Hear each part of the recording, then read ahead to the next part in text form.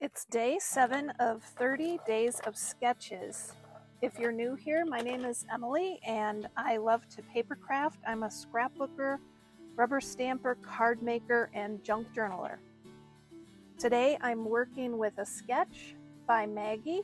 Her YouTube channel is called Paper to Pages and I'll link to that down in the description. 30 Days of Sketches is hosted by Christy of Christy's Beautiful Life. I'll link to her channel in the description as well, and along with a playlist of all the other YouTube creators who are participating and sharing their takes on this wonderful sketch by Maggie.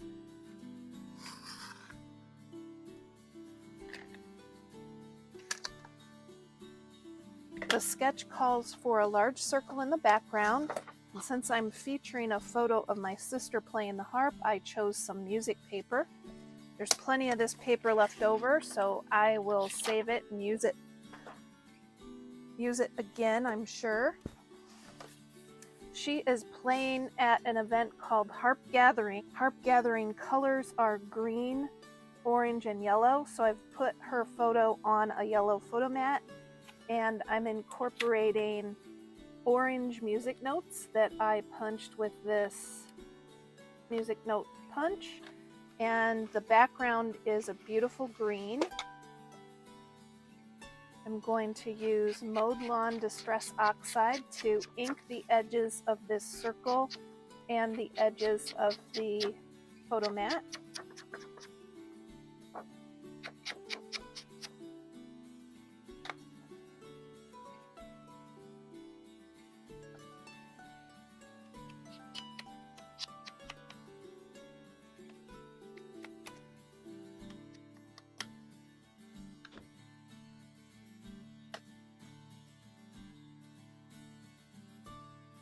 I need a page title, so I'm thinking about that. We may add the page title last.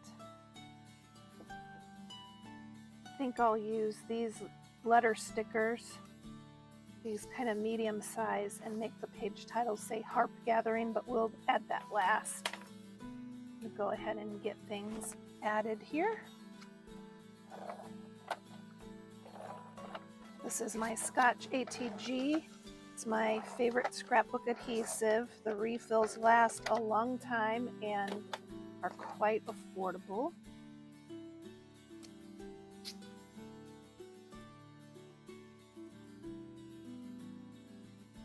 I'm going to use art glitter glue to adhere the music notes there for a, a detailed spot of glue like what's needed for these music notes, I think the art glitter glue is, is a perfect tool. And it dries clear, so that's rather nice.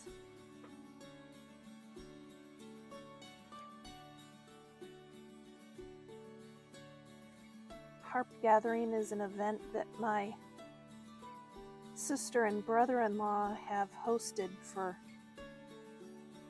more than a dozen years, and Audrey and I like to go and enjoy the music there and visiting with the wonderful harpists. And I always come back with some photos to scrapbook and kind of really enjoy getting the memories added to scrapbook pages. I like to add little photo corners and so I'm going to put music notes on a couple of these corners.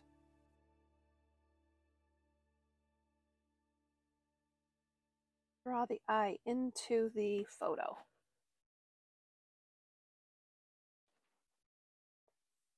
Now for that page title.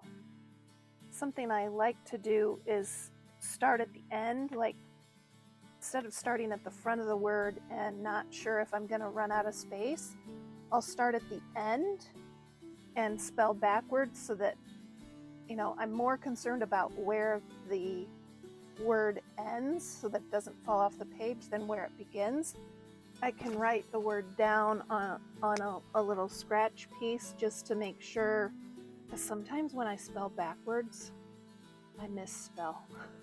So I've got the letters there, and that'll help me make sure that I get them correctly.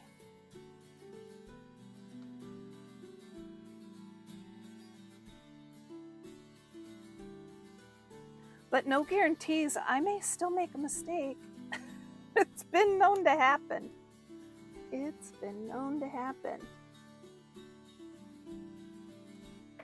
With paper, there's always a way to fix it or cover it up.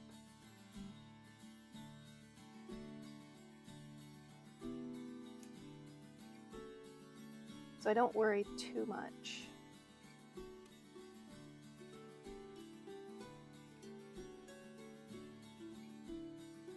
This is a sticker sheet from BasicGrey and it says 2013.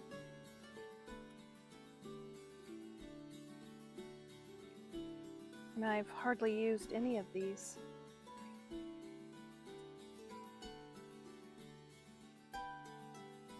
So when I'm shopping, I am often attracted to letter stickers, but I don't really need any.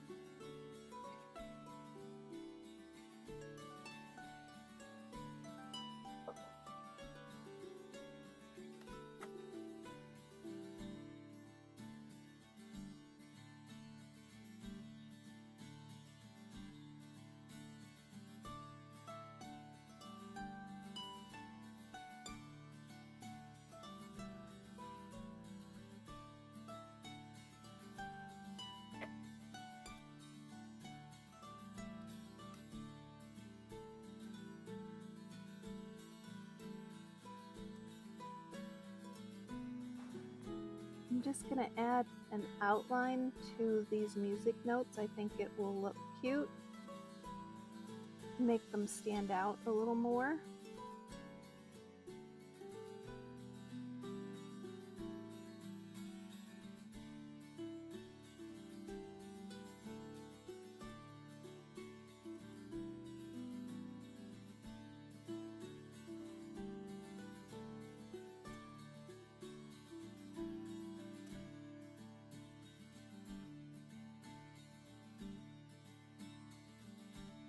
And I need a date on this layout. I'm going to say the month and year.